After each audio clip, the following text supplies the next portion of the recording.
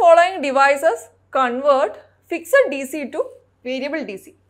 Fixed D സിനെ variable D C ആക്കുന്ന device ഏതാണ്?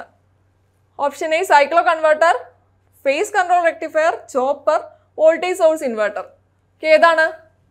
D C to D C D C to D C converter എന്ന് പറയുന്നത് ചോപ്പറാണ് അല്ലേ D C to D C അതായത് fixed D സിനെ വേരിയബിൾ ഡി സി ആക്കുന്നത് ചോപ്പറാണ് ഇനി ബാക്കി ഓപ്ഷൻസ് കൂടി ഒന്ന് നോക്കൂ.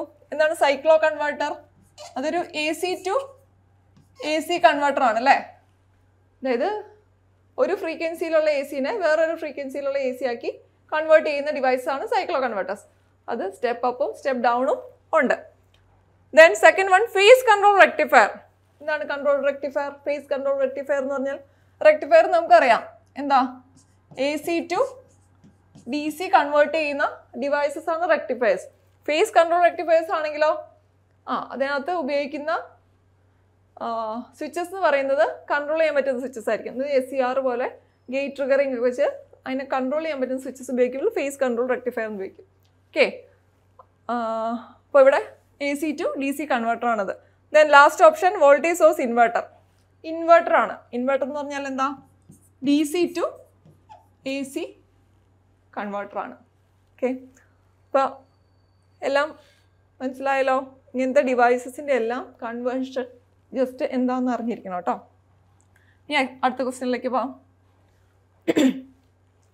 If V C is the peak value of carrier signal and V R is the reference signal modulation index of a sine P W M is ഒരു sinusoidal P W M pulse with മോഡുലേഷന്റെ question ആണ്. V C is the peak value of carrier signal and V R is the reference signal modulation index ആണ് ചോദിച്ചിരിക്കുന്നത് modulation index ആണ് ചോദിച്ചിരിക്കുന്നത് എന്താണ് modulation index reference value divided by carrier value ആണ് modulation index എന്ന് പറയുന്നത്. ഇപ്പോൾ ഇവിടെ പറഞ്ഞിട്ടുണ്ട് V C is the carrier and V R is the reference അപ്പോൾ V R by V C ആയിരിക്കും മോഡുലേഷൻ ഇൻഡെക്സ് എന്ന് പറയുക അപ്പോൾ V R by V C option A ആണ് ഈ ക്വസ്റ്റിന്റെ ആൻസർ ഇനി എന്താ ഈ സയൻസ് പി ഡബ്ല്യു അല്ലെങ്കിൽ സിനിസോയിഡൽ പി ഡബ്ല്യു എന്ന് പറഞ്ഞു കഴിഞ്ഞാൽ? ആ? എന്താ പി ഡബ്ല്യു രണ്ട് പി ഡബ്ല്യു എന്ന് പറഞ്ഞാൽ രണ്ട് കമ്പാരിസൺ വെച്ചിട്ടുള്ള എന്താ?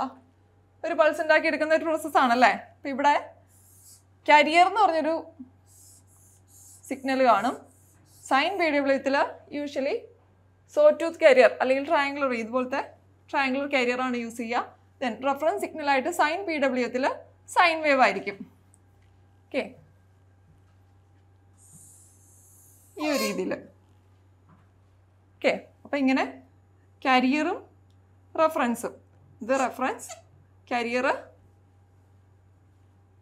സോ ടൂത്ത് അതിനെ വി സി എന്ന് റെപ്രസെന്റ് ചെയ്യുന്നു. ഇതിന്റെ രണ്ടിന്റെയും റേഷ്യോ ആണ് ഈ മോഡുലേഷൻ ഇൻഡെക്സ് എന്ന് പറയാം. ഇതിനകത്ത് പൾസ് ഉണ്ടാക്കുന്നത് ഇതിന്റെ കമ്പാരിസൺസ് വെച്ചിട്ടായിരിക്കും. റെഫറൻസ് ഗ്രേറ്റർ ദാൻ കരിയർ എന്നുള്ള പോർഷൻസിൽ ഇവിടെ പൾസസ് ഉണ്ടാക്കും. പൾസ് വിട്ട് അതിന്റെ വാല്യൂ അനുസരിച്ച് ചേഞ്ച് ചെയ്യും. ഓക്കെ അപ്പോൾ അതിന്റെ ഡീറ്റെയിൽസ് ഒക്കെ നമ്മൾ പവർ ഇലക്ട്രോണിക്സിൽ പഠിക്കും. ഓക്കെ ദെൻ നെക്സ്റ്റ് ക്വസ്റ്റ്യനിലേക്ക് പോവാം. Which of the following process bidirectional current capability bidirectional current capability അതായത് രണ്ട് ഡയറക്ഷനിലും കറണ്ട് കണ്ടക്ട് ചെയ്യാനുള്ള കഴിവ് എബിലിറ്റി ഓപ്ഷൻസ് നോക്കൂ. Triac B J T S C R MOSFET ഏതാണ് ആൻസർ ഓപ്ഷൻ എ ട്രയാക്ക് ആണ് ആൻസർ അല്ലേ B J T S C R MOSFET എല്ലാം യൂണി ഡയറക്ഷനിലാണ് ഒരു ഡയറക്ഷനിൽ മാത്രമേ കറണ്ട് പാസ് ചെയ്യുള്ളൂ. ട്രയാക്കാണ് ഈ ക്വസ്റ്റിന്റെ ആൻസർ ആയിട്ട് വരാം. ഇനി ഇതുപോലെ തന്നെ ചോദിച്ചിട്ടുള്ളൊരു ക്വസ്റ്റ്യൻ ആണ്. ടെർമിനൽസ് ചോദിച്ചിട്ടുണ്ട്. അതായത് ട്രയാക്കിന്റെ ടെർമിനൽസ് ആണോ ബി ജെ ടിയുടെ ടെർമിനൽസ് ഏതാ എന്നൊക്കെ ചോദ്യങ്ങൾ വന്നിട്ടുണ്ട്. ഒന്ന് പറഞ്ഞു നോക്കി ഏതൊക്കെയായിരിക്കും ടെർമിനൽസ് ട്രയാക്കിന്റെ ടെർമിനൽസ് എന്ന് നമ്മൾ സാധാരണ റെപ്രസെന്റ് ചെയ്യുക M T one M T two gate ആണ്. ഓക്കെ അതായത് ഒരു രണ്ട് എസ് സി ആർ ആന്റി പാരലായിട്ട് കണക്ട് ചെയ്യുന്ന ഒരു ഡിവൈസാണ് ട്രയാക്ക് എന്ന് പറയുന്നത്. അല്ലേ? ഇങ്ങനെയാ. ഇതൊരു എസ് സി ആർ ഇതൊരു എസ് ആർ ഇതിന്റെ ഗേറ്റും ഇതിന്റെ ഗേറ്റും കോമൺ ആയിട്ട് കണക്ട് ചെയ്ത് ഇങ്ങനെ വിടുന്ന ഈ ഒരു ഡിവൈസാണ് ട്രാക്ക് എന്ന് പറയുന്നത്. ഇത് എം ടി വൺ വരും ഇത് എം ടി ടു വരും. ഓക്കെ ഈ ടെർമിനൽ ഗേറ്റ് വരും. അപ്പോൾ ഇതിന് ഈ ഡയറക്ഷനിലേക്ക് ഈ ഡയോഡ് കണ്ടക്ട് ചെയ്യും ഈ ഡയറക്ഷനിലേക്ക് ഈ ഡയോഡ് കണ്ടക്ട് ചെയ്യും. അങ്ങനെ രണ്ട് ഡയറക്ഷനിലും കണ്ടക്ട് ചെയ്യാൻ കേപ്പബിലിറ്റി ട്രാക്കിനുണ്ട് ദെൻ ബി ജെ ടി നമുക്കറിയാം ഏതൊക്കെയാ? എമിറ്റർ ബേസ് കളക്ടറാണ് ടെർമിനൽസ് എസ് സി ആർ ആണെങ്കിലോ? Anode cathode then gate cathode K ആണ് റിപ്രസെന്റ് ചെയ്യാറ്.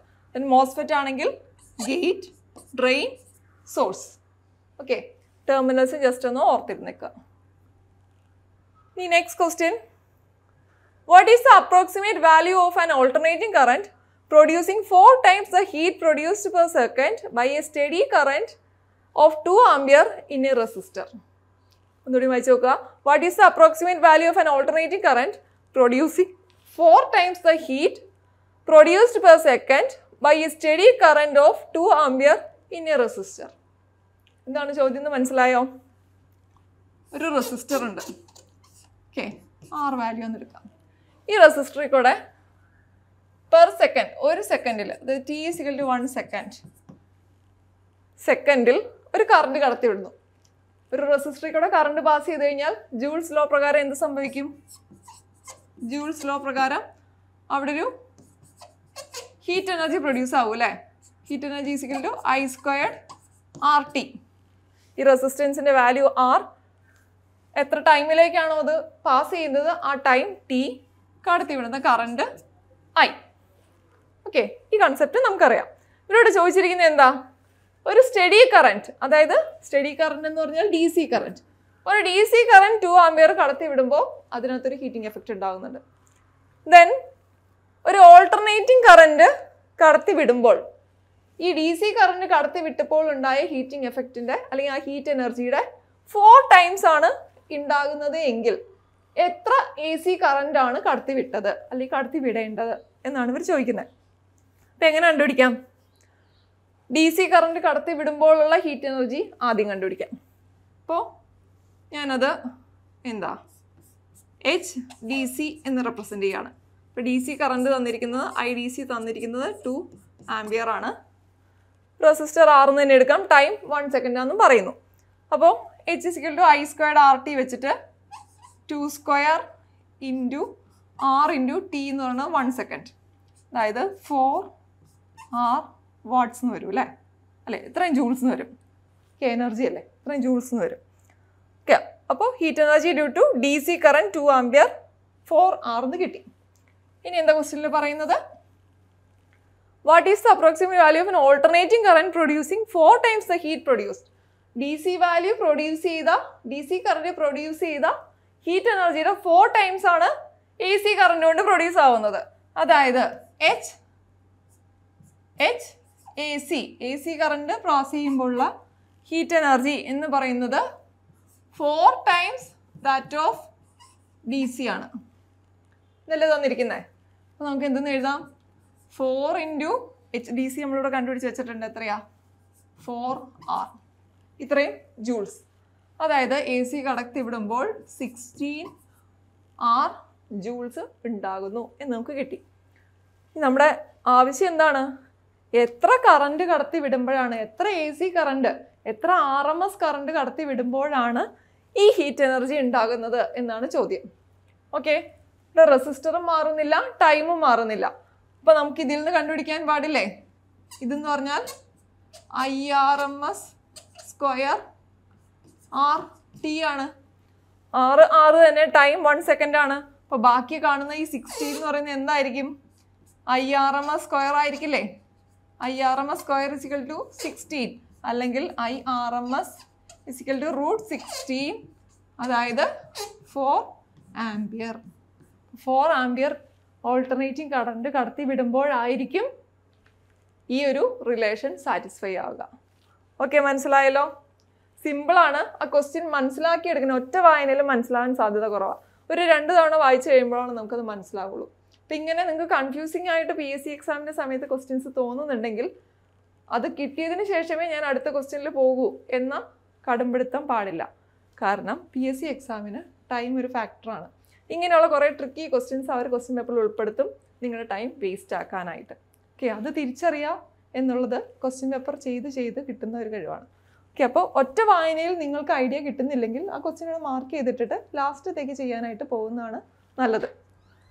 ഓക്കെ അപ്പോൾ അടുത്ത ക്വസ്റ്റ്യനിലേക്ക് പോകാം next question a current of two point two ampere flows through a coil when connected to two twenty volt D C when two twenty volt fifty hertz A C is apply to the same coil current is one ampere what is the inductance of coil എങ്ങനെ ചെയ്യാം?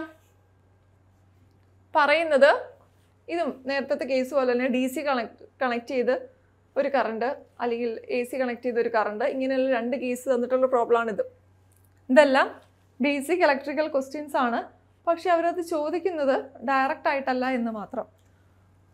Current of 2.2 ampere ടു through a coil coil when connected 220 two twenty അപ്പോൾ D C connect ചെയ്യുമ്പോൾ എന്താണ്? D C connect ചെയ്യുമ്പോൾ two point two ampere two twenty വോൾട്ടാണ് okay then ഇനി A C connect ചെയ്യുമ്പോൾ two twenty volt fifty hertz supply ആണ്. Current pass ചെയ്യുന്നത് one ampere ആണ്. കണ്ടുപിടിക്കാൻ പറഞ്ഞിരിക്കുന്നത് ഇൻഡക്റ്റൻസ് ഓഫ് കോയിൽ അതായത് എൽ എത്രയാണ് എന്നാണ് കണ്ടുപിടിക്കാൻ പറഞ്ഞിരിക്കുന്നത്. എങ്ങനെ കണ്ടുപിടിക്കാം? ഡി സി പാസ് ചെയ്യുമ്പോഴത് എ സി പാസ് ചെയ്യുമ്പോഴുള്ളൂ. എങ്ങനെ കണ്ടുപിടിക്കാം? ഡി സി പാസ് ചെയ്യണ കേസ് ഡി സി പാസ് ചെയ്യുന്ന കേസിൽ നമുക്ക് എന്താ കിട്ടുക? വോൾട്ടേജ് ബൈ കറണ്ട് ചെയ്ത് കഴിഞ്ഞാൽ ഡി സി പാസ് ചെയ്യുന്ന കേസിൽ വോൾട്ടേജ് ബൈ കറണ്ട് ചെയ്ത് കഴിഞ്ഞാൽ നമുക്ക് റെസിസ്റ്റൻസ് ആറ് കണ്ടുപിടിക്കാൻ പാടില്ലേ? പറ്റും. ദെൻ എ സി പാസ് ചെയ്യണ കേസിൽ വോൾട്ടേജ് ബൈ കറണ്ട് ചെയ്ത് കഴിഞ്ഞാൽ എന്തെന്ന് കിട്ടും? ഇമ്പിഡൻസ് ഇസഡ് കിട്ടും. അല്ലേ ഇനി നമുക്കറിയാം ഇസഡ് എന്ന് പറയുന്നത് root of R square plus X square ആണ്. എക്സ് എന്ന് പറഞ്ഞാൽ കപ്പാസിറ്റൻസും ഇൻഡക്റ്റൻസും ആകാം. അല്ലെങ്കിൽ രണ്ടിന്റെ സം എഫക്റ്റ് ആകാം. ഈ കേസിൽ ഇൻഡക്റ്റൻസ് ആണ് പറഞ്ഞിരിക്കുന്നത്. അതുകൊണ്ട് ഇത് എക്സ് എൽ എന്നെടുക്കുകയാണ് ഓക്കെ അപ്പോൾ ഇതിൽ നിന്ന് X L is equal to root of Z square minus R square എന്നെടുക്കാമല്ലോ P ഒരു രീതിയിൽ എക്സ് എൽ കണ്ടുപിടിക്കാം. എക്സ് എൽ കിട്ടിക്കഴിഞ്ഞാൽ നമുക്കറിയാം X L is equal to L ഒമേഗയാണ്. Omega omega two pi F ആണ്. Two pi F F fifty hertz തന്നിട്ടുള്ള കാരണം ഒമേഗയും കണ്ടുപിടിക്കാം. അപ്പം ഇതിൽ നിന്ന് എൽ ഈക്വൽ ടു എത്രയാണെന്ന് സിമ്പിളായിട്ട് കണ്ടുപിടിച്ച് ഇവിടെ. അല്ലേ അത്രയാണ് ഈ ക്വസ്റ്റ്യൻ ഉള്ളൂ. അത്രയാണ് ഈ ക്വസ്റ്റ്യനിൽ ചെയ്യാനുള്ളൂ. ഇപ്പോൾ നമുക്ക് സ്റ്റെപ്പ് ബൈ സ്റ്റെപ്പ് ആയിട്ട് ചെയ്യാം. ആദ്യം ആറ് കണ്ടുപിടിക്കാം. ഇതെന്ന് വരും? R equal to R equal to V D C by I D C അതായത് ഡി സി കടത്തി വിടുമ്പോഴുള്ള കറണ്ടും വോൾട്ടേജിന്റെ റേഷ്യോ അതായത് two twenty volt divided by two point two ampere എത്ര കിട്ടും? Two twenty by two point two hundred എന്ന് കിട്ടും അല്ലേ? R equal to hundred ohms എന്ന് കിട്ടും. ദെൻ ഇതുപോലെ തന്നെ impedance Z is equal to V A C by I A C V A C എന്ന് പറയുന്നത് ടു ട്വന്റി വോൾട്ട് തന്നെ പോകുന്ന കറണ്ട് വൺ ആംബിയർ അപ്പോൾ ടു ട്വന്റി ഓംസ് കിട്ടും. ഇനി X L X L equal to root of Z square minus R square അതായത് root of Z square എന്ന് പറയുമ്പോൾ two twenty square minus R square എന്ന് പറയുമ്പോൾ ഹൺഡ്രഡ് സ്ക്വയർ ഓക്കെ ഇതിന് ഞാനൊരു എക്സൽ സ്ക്വയർ എന്നുള്ള രീതിയിൽ എഴുതി വയ്ക്കുവാണേ X L square is equal to two twenty square minus hundred square അത് ചെയ്യുമ്പോൾ എത്ര കിട്ടും? Two twenty square minus hundred square ചെയ്യുമ്പോൾ three eighty four zero zero അങ്ങനെ ഒരു വാല്യൂ കിട്ടണം കേട്ടോ. അപ്പോൾ എക്സൽ സ്ക്വയർ ആണ് അത് കിട്ടിയത്. ഇനി അടുത്ത സ്റ്റെപ്പിൽ എന്ത് ചെയ്യണം? എക്സലിൽ എൽ ഒമേഗ എന്ന് സബ്സ്റ്റിറ്റ്യൂട്ട് ചെയ്യണം. അപ്പോൾ എക്സൽ സ്ക്വയർ എന്ന് പറയുന്നത് എൽ ഒമേഗ സ്ക്വയർ അല്ലെങ്കിൽ എൽ സ്ക്വയർ ഒമേഗ സ്ക്വയർ എന്ന് വരും. അല്ലെങ്കിൽ L square is equal to X L square by omega square അല്ലെങ്കിൽ three eight three four zero zero divide by omega square omega two pi F ആണ് F fifty അതുകൊണ്ട് two pi into fifty എന്ന് പറയുന്നത് two into fifty hundred hundred into pi പൈയുടെ value three point one four ആണ്. അപ്പോൾ three fourteen കിട്ടും. അപ്പോൾ three fourteen square എന്ന് എഴുതാം. ത്രീ ഫോർട്ടീൻ സ്ക്വയർ എന്ന് എഴുതാം. അപ്പോൾ ഇതിന്റെ ആൻസർ കിട്ടി. അതിന്റെ റൂട്ട് എടുത്തു കഴിഞ്ഞാൽ നമുക്ക് എല്ലിന്റെ വാല്യൂ കിട്ടും. എല്ലിന്റെ വാല്യൂ ഈ കേസിൽ കിട്ടുന്നത് പോയിന്റ് സിക്സ് ടു ഫോർ ആണ്. പോയിന്റ് സിക്സ് ടു ഫോർ ആണ്. ഇത്രയും ഹെൻറി ആയിരിക്കും. ഓക്കെ അപ്പോൾ ഇത് ഓരോരുത്തരുടെ കഴിവനുസരിച്ച് അത് ക്യാൻസൽ ചെയ്ത് ആൻസർ കണ്ടുപിടിക്കുക. ത്രീ ഫോർട്ടീൻ ത്രീ ഫോർട്ടീൻ എന്ന് എഴുതുക. Three fourteen three eighty four cut ചെയ്ത് കളയുന്ന രീതിയിൽ ചെയ്ത് നോക്കുക. പോയിന്റ് സിക്സ് ടു ഫോർ എന്നാണ് ആൻസർ കിട്ടുക. Point six two four henry ആണ്. ആ ഇവിടെ ഓപ്ഷൻസ് ശ്രദ്ധിച്ചേ. Point six two four milli henry point six two four henry sixty two point four milli henry confusing ആയിട്ടുള്ള രീതിയിലാണ് ഓപ്ഷൻസ് കൊടുത്തിരിക്കുക. അപ്പോൾ point six two four henry ഇങ്ങനെ വരുന്ന ക്വസ്റ്റ്യൻ രണ്ട് പ്രാവശ്യം ചെക്ക് ചെയ്ത് ചെക്ക് ചെയ്തിട്ടേ ആൻസർ മാർക്ക് ചെയ്യാവുള്ളൂ കേട്ടോ കൺഫ്യൂസിങ് ആണ്. ഓക്കെ അത് മനസ്സിലായല്ലോ? ഇപ്പോൾ A C current D C current രണ്ടിന്റെയും കൺസെപ്റ്റ് നന്നായിട്ടുണ്ടെങ്കിൽ ഈ പ്രോബ്ലം സിമ്പിളായിട്ട് ചെയ്യാം. ഓക്കെ എ സി കറണ്ടിൽ കിട്ടുന്നത് ഇമ്പിഡൻസ് ആണെന്നും ഡി സി കറണ്ടിൽ കിട്ടുന്നത് റെസിസ്റ്റൻസ് ആണെന്നും ഉള്ള ഐഡിയ ഈ പ്രോബ്ലത്തിൽ യൂസ് ചെയ്യണം. ഓക്കെ